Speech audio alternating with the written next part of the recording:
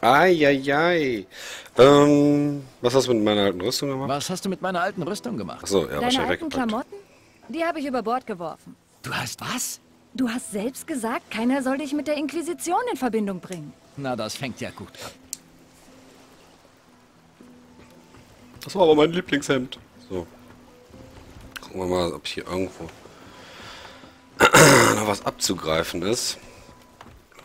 Als alter Rollenspielspieler muss man ja immer alles Wie gut. praktisch, dass wir jedes Mal Sklaven geladen haben, wenn wir hier landen. Ah, du hast dich deiner Uniform entledigt. Das ist gut. Ich habe den Männern erzählt, dass ich dich unehrenhaft aus dem Dienst entlassen musste.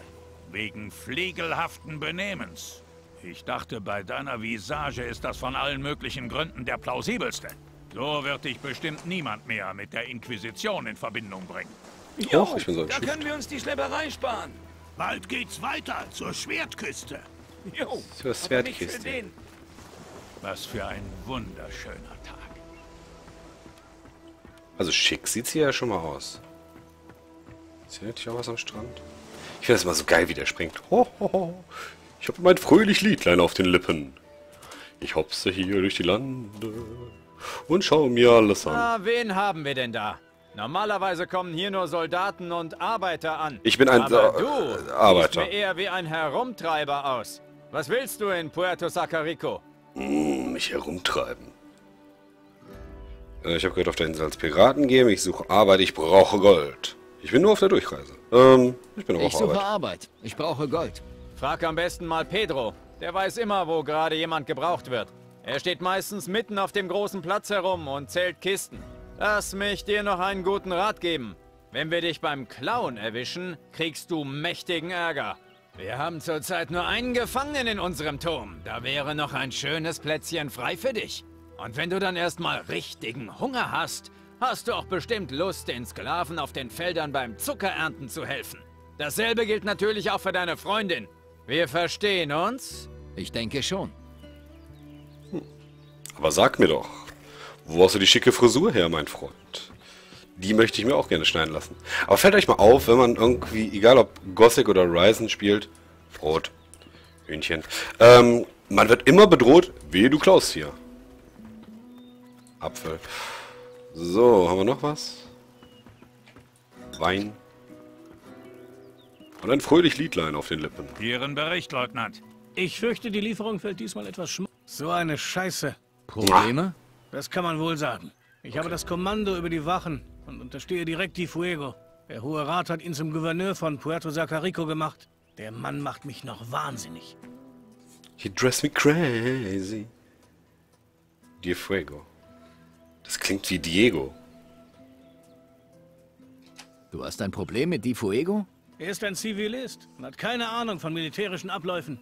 Seit er die Einteilung der Wachen geändert hat, geht hier alles drunter und drüber. Ich habe einfach nicht mehr genug Leute, um die Sicherheit der Kolonie zu gewährleisten. Und jetzt will er auch noch, dass ich einen meiner Männer zum Piratennest schicke. Als wenn die Halsabschneider mit uns verhandeln wollten. Ich suche das Piratennest. Moment mal. Du bist der Kerl, den Sebastiano rausgeworfen hat. So sieht's aus. Dann bist du vielleicht genau der Mann, den ich suche. Ja, Ich muss das... eine Nachricht zu den dachte ich Piraten mir. schicken. Ich gebe dir 100 Goldstücke, wenn du sie überbringst.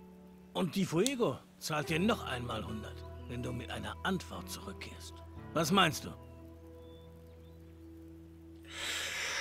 Gib mir das Gold, ich überbringe die Nachricht. Trainierst du auch Schwertkampf? Ich schätze mal ja, sonst wird die Gib mir Frage... das klar. Gold. Ich überbringe deine Nachricht. Gut. Hier ist der Brief. Und hier ist dein Gold. Das Piratennest muss irgendwo im Nordosten der Insel sein.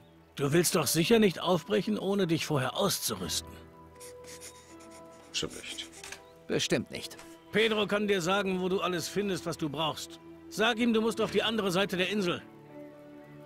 Trainierst du auch Schwertkampf? Trainierst du auch Schwertkampf? Ich kann dir ein paar nützliche Dinge über den Umgang mit dem Degen beibringen. Oder willst du einen Trainingskampf? Äh, ich, äh, Lass uns trainieren. ja, trainieren wir mal. Meinetwegen. Ein bisschen Übung kann nicht schaden. Mach schon. So. Los doch! Zeig's ihm! Was passiert da gerade? Endlich hat der Kampf ein Ende. Das war brutal. Ja, war's. Hast mir wehgetan. Toll gemacht. Klasse. Fühlt sich jetzt stark. Äh, meine Brust. Ich fürchte, die Lieferung fällt diesmal etwas schmal. Die letzte Runde ging an mich. Wenn du weitermachen willst, sag Bescheid. Nee, gerade nicht. Ich will erstmal ein bisschen Rüstung. Ich will mehr über den Umgang mit der Klinge lernen. Ich werde dir zeigen, was ich weiß. Äh, Konter... Was haben wir? Ich will einen schweren Angriffbärchen. Ihr kriegt eine Konterattacke. Schweren Konterattacke ausführen können. Ja, ähm, mit dem Herrn werde ich wohl noch häufiger was zu tun haben. Schnell besser mit dem Degen. Degen richtig beherrschen. Ja gut, äh, da habe ich wohl noch ein bisschen Zeit. Ich muss weiter. Ich fürchte, die Lieferung fällt diesmal etwas Was haben schmaler wir hier? aus. Was Pedro. soll das heißen? Kann ich gleich noch quatschen. Wacher, Wacher. Geschlossene Kiste, Bett. Gegen wen er auch immer antrat, er siegte. Somit hat nie einer seiner Gegner sein Gesicht gesehen. Das letzte Mal soll der Mann mit der Maske in der. Taverne auf Antigua gesehen worden sein. Interessant. Ich hoffe, Holst du du, weißt, wie du dich in einem fremden Haus zu verhalten hast. Ich will zu Di Fuego. Ich will zu Di Fuego. Zieh dir gefälligst was Ordentliches an, wenn du mit dem Gouverneur sprechen willst. Dann gib mir was. Alles klar, Leute. Ich wollte mich ja hier nur mal ein bisschen umsehen. Was ist denn hier? Nochmal ein Bett, Schlafen, Flasche, Schloss, Schloss, Kiste. Ah, die kommt mir schon wieder nach. Oh, Alter. Seid aber neugierig. Was? Darf ich jetzt auch nicht hoch? Ja, ja, ja, ja, ja, ist ja okay. Okay, oben ist wohl nichts Interessantes für mich. sind einige Kisten abhanden gekommen. Sind die unentspannt? Sieh mal an, wer da kommt. Na, Steuermann. wenn das mal nicht der Flegel ist. Ja. Sieht doch aus wie ein Flegel. Was meinst du, was er gemacht hat? Hat der Kommandant nicht gesagt. Verdammt nochmal. Ich kümmere mich um die Versorgung der gesamten Kolonie. Ja, Und verdammt. Wer hilft mir dabei? Deine Mutter. Kein Schwein. Deine Mutter ist kein Schwein? Ich suche Arbeit. Ich suche Arbeit. Ich hab genug Arbeit für zwei Leute. Wenn du alles erledigst, kannst du dir 200 Goldstücke verdienen. Verstehst du was vom Kochen? Äh, ich kann Wasser machen, ich kann Fleisch braten. Ich kann Fleisch Ich braten. kann Fleisch braten. Ich red nicht davon, einen Brocken Fleisch auf einen Stock zu spießen und ihn am Feuer verkokeln zu lassen. Ist ja Das schmeckt wundervoll. Du kannst Botengänge für mich erledigen. Aber ich brauche auf jeden Fall jemanden, der mir in der Küche hilft. Ist das der Fisch vier Jemanden, Augen? der auch was vom Kochen versteht. Zum Beispiel deine kleine Freundin da. Was ist mit ihr? Auf keinen Fall stelle ich mich in die Küche. Du hast sie gehört. Gib mir einen kleinen Moment, ich kläre das. Eine Gib mir Sekunde. einen kleinen Moment. Ich kläre das. Vibe ab in die Küche. Äh, wie willst du herausfinden, wo Trevor seinen Schatz vergraben hat? Lass uns doch mal über die Sache der Küche reden. Genau, lass uns mal über die lass Sache... uns doch noch mal über die Sache mit der Küche reden. Was gibt es da zu reden? Das war nur für einen Tag. Wir können das Gold gut gebrauchen. Ich habe eine Idee. Über Silber zu... Naja. Wir können das gut Wir können das Gold gut gebrauchen. Wir. Ich soll die Arbeit machen und du sagst das Gold ein. Ich werde ein paar Botengänge erledigen. Ach so. Du spazierst schön durch die Gegend und die Frau steht hinterm Herd. Vergiss es. Okay, ich habe eine Idee. So gut bin ich auch nicht. Verdammt. Äh, ist doch nur für einen Tag. Das ist doch nur für einen Tag. Na dann stell dich doch selbst an den Herd. Ich kann nicht kochen. Dann wird's Zeit, dass du's lernst. Schon gut. Ich will nichts mehr davon hören. Okay, äh... Wie mache ich mich? ich... Äh, nochmal wegen der Arbeit. nochmal wegen der Arbeit. Und? Hast du die Sache geklärt? Noch nicht. Was willst du dann hier? Ach so, ich muss die erst... Hat der Kommandant nicht gesagt. Schätze, er hat was die- ganz Ungezogenes mit seiner kleinen Freundin angestellt. Kannst du ihm nicht übel nehmen. Wir gehen was essen. Ja, gib mal was essen. In der Zeit stelle ich noch mal was Un äh, Unanständiges mit meiner kleinen Freundin an. Und nehme mir einen Apfel. Und habe wie ein fröhlich Liedlein auf den Lippen. Und sind während ich einige hier durch die Gegend hüpfe. abhanden 26, 27, 30, 29, 61. Du hast 28 vergessen. Hör mal, ich habe mein eigenes System. Bring mich nicht durcheinander. Was machst du da? Ich kümmere mich darum, dass die feinen Herren in Caldera ihren Tee nicht ohne Zucker trinken müssen. Der Großteil unserer Ernte geht aufs Schiff und am Ende müssen die Bücher stimmen. Das Ganze ist Wahnsinn. Die halbe Welt geht den Bach runter und die Händlergilde hat nichts Besseres zu tun, als an ihren Profit zu denken. Nur Deswegen deswegen, ist es die gibt es diesen Stützpunkt überhaupt. Warum bist du hier? Suchst du Arbeit? Nein. Ich muss auf die andere Seite der Insel. Ja, machen wir das. Ich muss auf die andere Seite der Insel. Es ist nicht ungefährlich, die Insel zu bereisen. Überall lauern wilde Tiere. Einige unserer Sklaven sind entkommen und machen jetzt den Dschungel unsicher. Und irgendwo im Osten gibt es die Piraten. Ohne robuste Kleidung und genügend Proviant solltest du nicht losziehen. Mm, Ja, Was weißt du über die Piraten? Ich? Gar nichts. Hab noch nie einen von denen zu Gesicht bekommen. Wenn du was über die Piraten wissen willst, sprich mit Rock vor. Äh, wo komme ich klein? Wo bekomme ich Kleidung? Frag mal Carter. Er sitzt oben beim Turm und bewacht den Gefangenen. Kann schon sein, dass er was für dich hat. Okay. Wo gibt es Proviant? Sprich mit Osorio. Er kann dir was verkaufen. Du findest ihn in der Küche. Das ist das kleine Gebäude vorne am Platz. Ja, das Gold Ich will verdient. etwas Gold verdienen. Für Tagelöhner gibt's ja immer was zu tun. Was soll ich machen? Geh zuerst zu Osorio. Er hat mit Sicherheit Arbeit für dich. Gibt es eine Karte der Insel? Wenn ich du wäre, würde ich die Fuego fragen. Er ist der Gouverneur von Puerto Sacarico. Kann mir aber nicht vorstellen, dass sie dich so zu ihm lassen. Halb nackt, wie du bist. Zieh dir wenigstens ein Hemd an. Ich muss jetzt erstmal weiter. Gut, zurück zu den Kisten. Wo war ich? 28. 28. Wirklich? Wirklich. Gut. 28, 29, 30. Uns sind einige Kisten abhanden gekommen. Und wie bei den Göttern Äh, ja, vielleicht, weil sie brennen. Sie müssen sich nachts ins Lager... So, Proviant. Verkaufst du Proviant? Jederzeit. Sag mir einfach, wenn du was brauchst. Ich brauche Ich Proviant. brauche Proviant. Ähm. Lecker. Das Level ist hier der Seefahrer. Nicht so stark wie Rum und daher auch nicht so wirksam. Äh. Blut, Blut, Blut. Blutregeneration. Ähm. Ach, nehmen wir jetzt einfach mal ein paar davon. Das ist 25. Ja, nehmen wir mal 4, haben wir 100 für ausgegeben. Irgendwas Schickes zu verkaufen. Ähm, viele Eingeborene kauen die Wurzel bei schwerer körperlicher Arbeit. Blutregeneration 5. Mhm. Geflügel. Silberpokal. Schon platziert, ja. Ein paar Silberpokale. Gut, äh, Ende.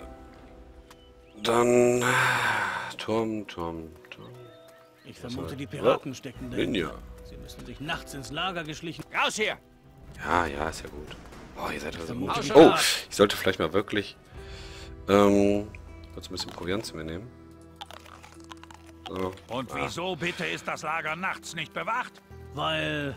Weil? das Die Männer, die- sieht nach Turm aus. Boah, ey, wir- ich, ich scheine hier immer wieder so Schwellen zu überschreiten, wo man auf einmal nichts mehr hört. So gar nichts mehr. Äh, ja, gehen wir erstmal zum Turm hier. Oh, da ist noch was. Das ist bunt, das kann ich sicher aufheben. So, noch eine Kiste. Was ist in einer Kiste? Aha. Käse. Karte Bist du hier, um mit dem Gefangenen zu reden? Auch. Warum ist der Gefangene Warum hier? ist der Gefangene hier? Wir hätten ihn ja zusammen mit den Molukken auf die Felder geschickt. Aber Riley meinte, er ist noch nicht durstig genug zum Arbeiten. Also lassen wir ihn ein paar Tage im Turm schmoren. Auch seid ihr nett. Ich habe gehört, du verkaufst Kleidung. Sagt wer? Pedro sagte sowas. Kann schon sein, dass ich was für dich habe. Wenn du willst, kannst du dir die Sachen ansehen. Zeig mir die Sachen. So, Lederhemd, altes Hemd, bunte Hose, altes Kopftuch, ja sehr schön. Ähm, Klingenfest, kugelsicher. Was ist denn das? 150, 75. Nehmen wir mal das Lederhemd. Haben wir noch genug für die Hose? Nö. Für das Nee. Verkaufen kann ich nichts. Ja, okay. Danke dir. Für Ausrüstung, Körper, Lederhemd. Ah! Wie ich ja schmucker Typ. Ein schmucker Mann wie ich ja. So, quatschen wir mal mit dem Knasti. Largo, wie geht's dir? hat mir meine Sachen weggenommen. Das ist mein Hemd, das du da anhast. Ja, mein schönes besser. rotes Kopftuch hat er schon verkauft. Meine Stiefel stehen jetzt vor irgendeinem Bett in der Baracke. Und meine schwarze Perle hat er sich selber in sein dreckiges Ohr gefriemelt. Aber dir scheint es ja auch nicht viel besser ergangen zu sein. Haben deine Freunde von der Inquisition dich rausgeworfen? Ich hoffe, die Sache mit dem Lagerhaus ist nicht schiefgelaufen.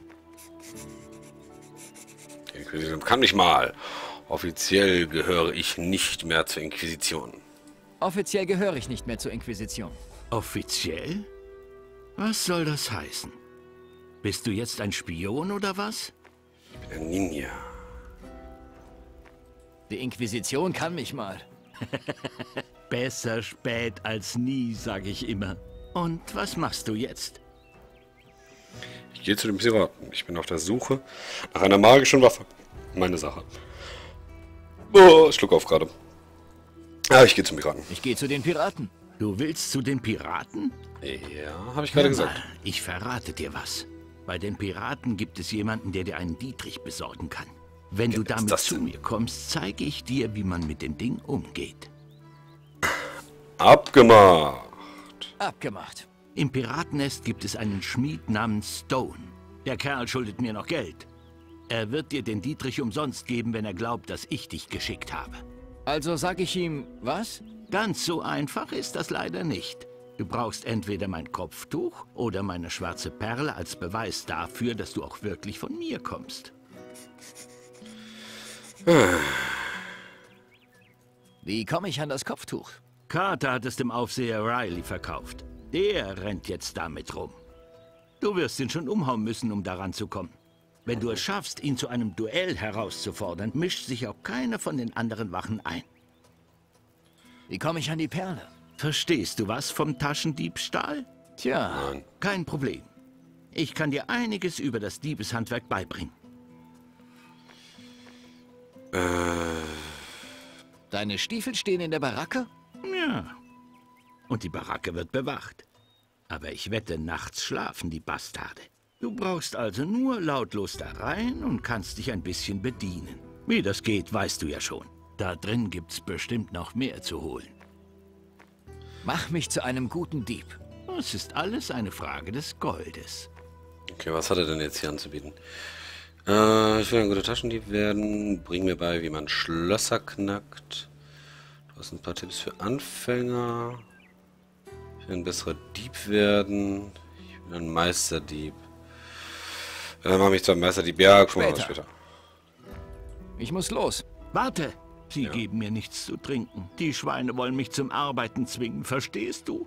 Du hast nicht zufällig einen Schluck Grog dabei? Hier, hast du was. Hehehe, sieht so aus, als ob die Inquisition noch eine Weile auf meine Mitarbeit verzichten muss. So, Kater. Ähm, ja, dann müssen wir uns jetzt gleich um einen der Kollegen kümmern. Und hier ist jetzt hier die Baracke, oder?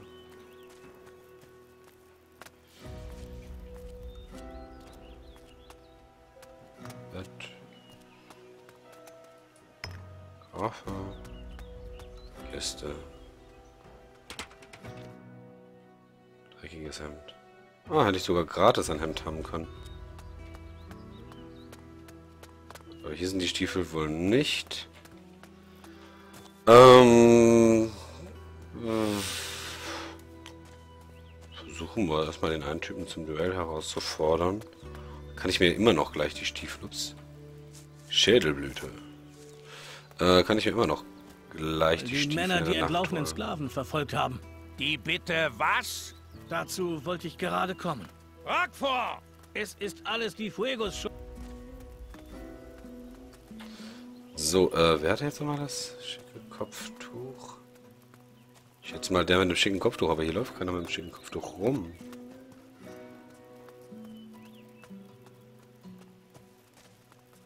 Es ist alles die Fuegos Schuld. Er hat mir befohlen, die Wachen zu halbieren. Raus hier! Ich habe ihm davon Da abgeraten, aber... Stiefel. Die Fue.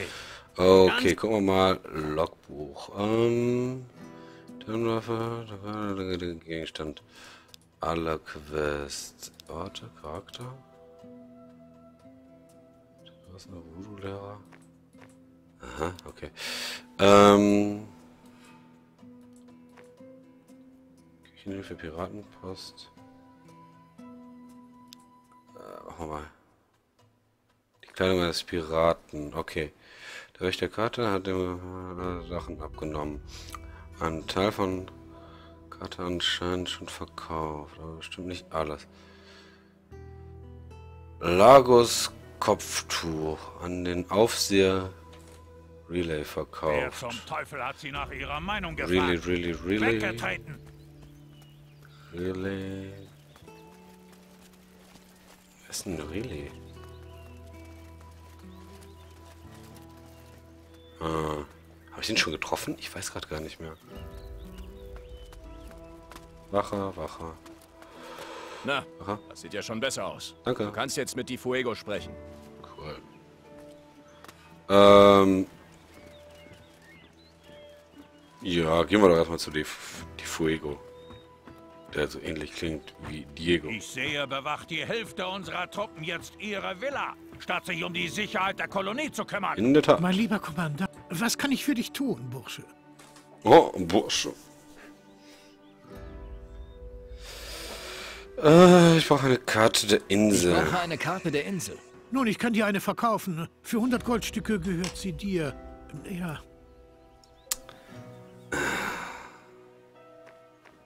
Ich habe nicht genug Gold.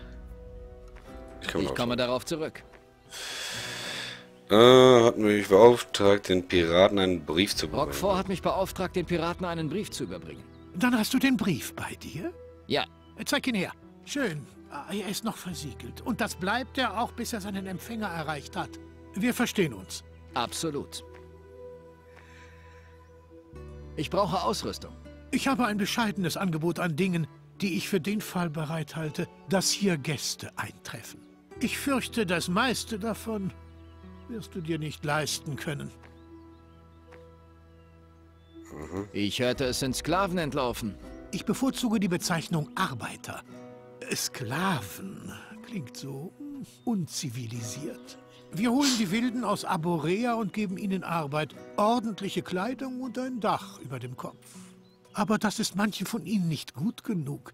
Sie bevorzugen es, im Dschungel zu hausen wie die Tiere. Schlimmer noch, sie erheben die Hand gegen ihre Herren. In solch einem Fall darf man keine Milde walten lassen. Das wäre schlecht für die Moral der anderen Arbeiter. Daher habe ich ein Kopfgeld auf sie ausgesetzt. Mhm. Ich bringe die Wilden zur Strecke. Ich bringe die Wilden zur Strecke. Exzellent. Ich werde das Gold für dich bereithalten, wenn du zurückkehrst. 300 Goldstücke für drei Köpfe. Okay. Zeig mir dein Angebot. Edle Weste, schwarze Hose, ja geil. Hat alles mögliche Sachen, die mindestens 200 Gold kosten. Perl und Rubin. Sieben Muscheln. Edelstein sehr wertvoll. Ja toll, was bringt mir das? Ähm, das dreckige Hemd kann ich verkaufen. Ja, dann habe ich wenigstens genug Kohle für die Karte.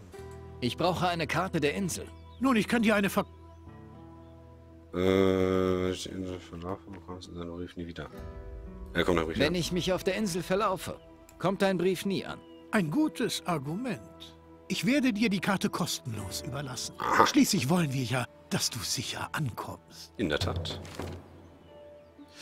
So. Lieber Kommandant, Ja. die Sicherheit der Kolonie ist vollkommen gewährleistet. Mhm, In Leutnant. Rockforts Bericht hörte sich das nicht so an. Ach, hören Sie mir auf mit Rockford. Nachdem die Piraten sich auf der anderen Seite der... I So, was haben wir denn? Jetzt können wir mal... Oh, wir können mal Map drücken. Ist ja schön. Ah, ich kann direkt zu Orten reisen, dann, die ich auch kenne. Okay. Ähm...